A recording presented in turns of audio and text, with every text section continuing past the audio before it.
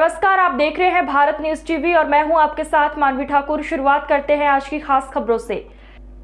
हंसडीहा के एक विवाहिता का फेसबुक में बिहार के बांका ज़िले के अमरपुर थाना क्षेत्र के बलुआ निवासी एक युवक गौरव कुमार से दोस्ती के बाद प्रेम संबंध हो गया।